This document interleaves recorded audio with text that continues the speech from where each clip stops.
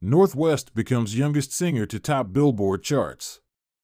North produced her song Talking with her father, Kanye West. North West is having a big moment.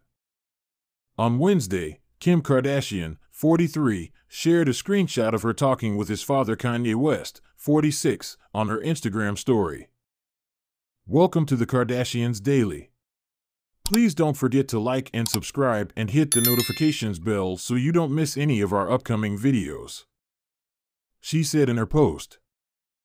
At 10 years old, she is one of the youngest artists ever to chart. My baby, her proud mother wrote about her photo. Earlier this month, West announced that her daughter was appearing in the music video for a collaborative song on which North borrowed vocals.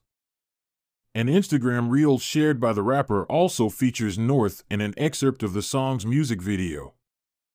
North sits with his hair done and raps the verses to the song.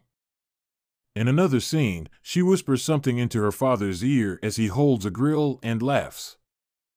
It's your best friend, Miss, Miss Westie, North raps on the song.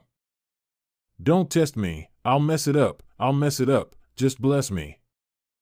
An i-D's first solo cover story for fall winter 2023, the teenager talks about what she wants to do. I revealed it. She will be like that when she grows up. The teenager still has plenty of time to change her mind, but she has decided on several different careers. Basketball player, rapper, you know. Well, when I was seven years old, I wanted to be a boxer, she told the magazine. But now I don't want to be a boxer anymore. I'm going to do art on the side.